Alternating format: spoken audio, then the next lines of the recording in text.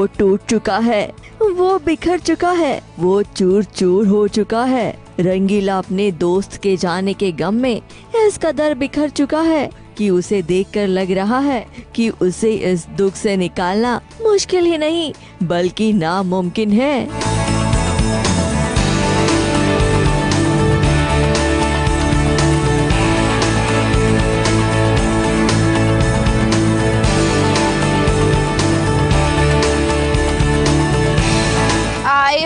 संभाल पाऊँ? क्योंकि अभी भी उनको अकेले ही रहना और मैं बोल रही हूँ अब मैं क्या करूँ?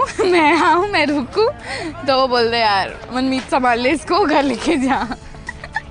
तो अभी तो ऐसा कुछ नहीं हो रहा अभी तो सिर्फ़ I think he need just time because sometimes you know आपको अकेले रहने में और खुद ही जो स्ट्रेंथ मिलती है अकेले में आई थिंक वही बेटर है।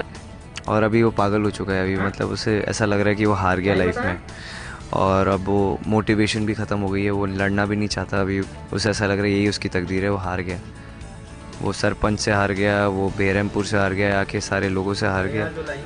वो अब पता नहीं वो क्या करेगा, लेकिन अब जो कुछ करेगा, ऐसा करेगा कि बॉम्ब फूटेंगे बस। मतलब ये मेरी जजमेंट है, मुझे पता नहीं है क्या करेगा। बट अभी यहाँ से जो होगा ना, अब तो मतलब ख़त्म कर देगा सबको।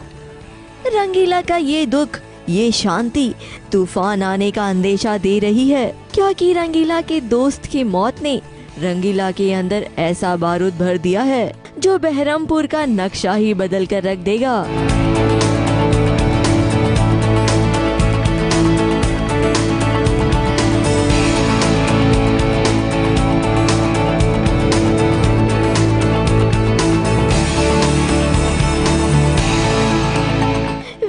जाकर ये बारूद कुछ ऐसा फूटेगा कि वीर और उसके जुर्म का नामो निशान ही नहीं रहेगा। अब देखना ये बनता है कि फौलादी रंगीला को शिवानी कैसे संभालेगी।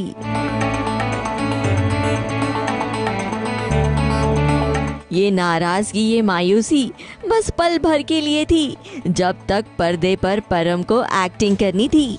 पर्दे के पीछे हरी भरी वादियों और इस खूबसूरत से लेक के पास आते ही परम और उसके दोस्तों का तो कुछ और ही हाल था।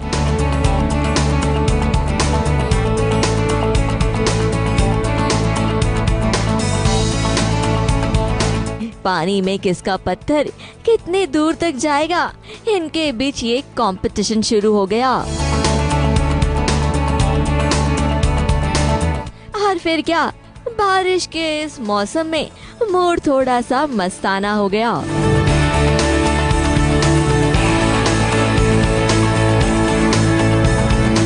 मुंबई से नेहा सावंत की रिपोर्ट।